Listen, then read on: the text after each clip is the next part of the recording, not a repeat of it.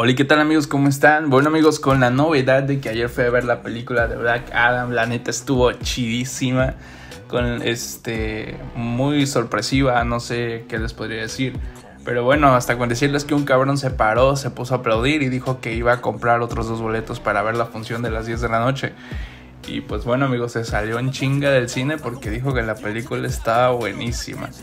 Y bueno amigos, pues bueno, resulta que eh, vi muchos detalles, cosas que pues bueno, obviamente me gustaron, no me gustaron. Y pues sobre todo amigos, eh, la verdad, mucha acción dentro de la película. Pero bueno, vamos a continuar. Resulta de que al principio de la película, y esto es algo muy curioso que no muchos youtubers se los van a decir y nadie casi lo sabe, es que eh, al principio de la película se asimila muchísimo a lo que es un video de la, de la banda Smashing Pumpkins, que es una de las bandas, de mis bandas favoritas, que por cierto la vi hace unos meses en la Ciudad de México, que bueno, aquí dejo un clip.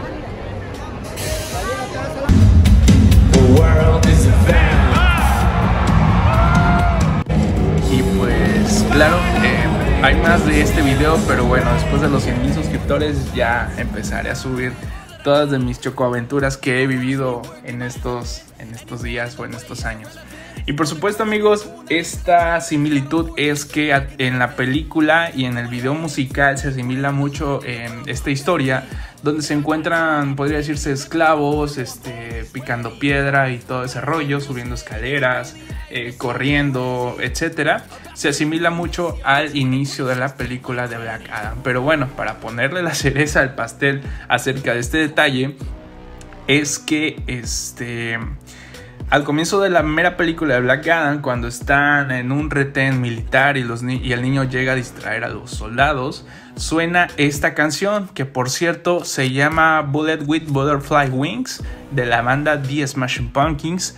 Que bueno, puedes buscarla en YouTube y vas a ver la similitud que hay de esta canción al inicio de la película de Black Adam y por supuesto aparece después al comienzo de la película. Después de ello, amigos, este, las escenas de pelea son bastante, wow, emocionantes por el simple hecho de que Black Adam no se mide con los enemigos.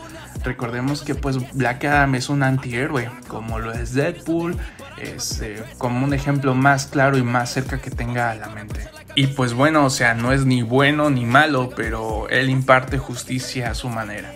El simple hecho también me gustó de que de que, por ejemplo, la Liga de la Justicia, la Liga de la, Sociedad de la Justicia y todo ese tipo de cosas no sean abasto en todo el mundo. O sea, se dice que es un, un programa de superhéroes mundial, pero pues bueno, en, no todos los rincones del mundo llegan a proteger a las personas. Como en este hecho de estas escenas en la pelea, menciona este, esta persona que la verdad no está contenta con que lleguen soldados de otros lugares solamente a matar, a robar recursos y todo eso, y dónde están los superhéroes para apoyarlos.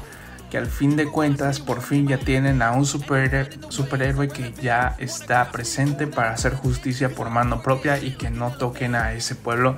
Y bueno, es, es algo que está pasando actualmente, no tan solo donde vivo, sino en todo el mundo.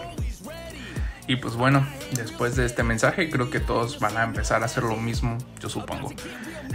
bueno amigos, después de ello amigos, la verdad hay escenas que pues bueno te dejan sorprendentemente un poco fríos.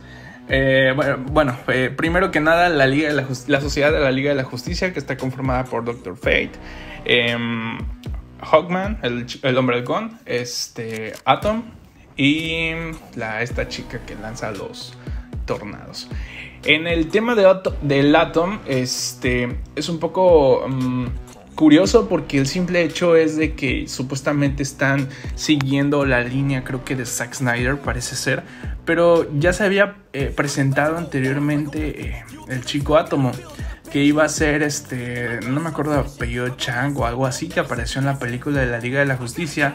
Y resulta que aquí cambiaron la historia, en donde ahora es un chico común, así que no nos han mencionado más de su historia. Pero el abuelo de este chico eh, resulta que le heredó el traje a su nieto. Y es por ello que ahora pues este es el nuevo Atom. De ahí en fuera, Doctor Fate eh, es de lo más fenomenal. Espero que sí hagan una película de este personaje porque la verdad se quedaron a medias y espero que no haya muerto realmente. Ah, la chica de los tornaditos del viento este de, que, los que te espolvorea la cara. Eh, no, no sé, no hay mucho que decir acerca de ella. Pero el, el hombre con la verdad, de lo más fenomenal de la agrupación, es, es fenomenal. O sea, toda la riqueza que tiene. Em, la nave super chingoncísima que tiene y por supuesto su armadura, em, peleas y todo lo demás.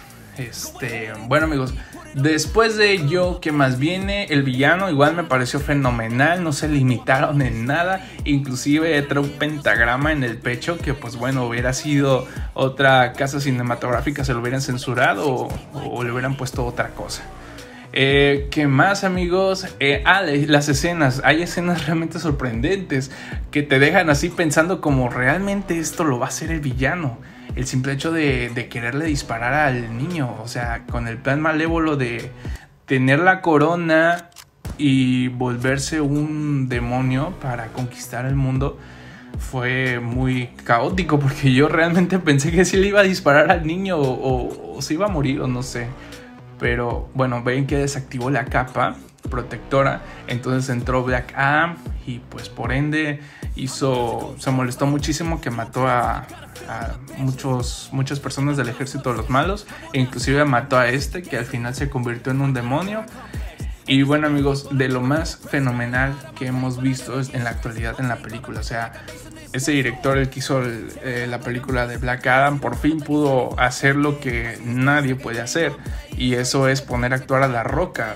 Este, o sea, La Roca se llevó, um, en lo personal, un 9, no, un 8.5 quizá en el papel que hizo, porque la verdad está fenomenal, fenomenal.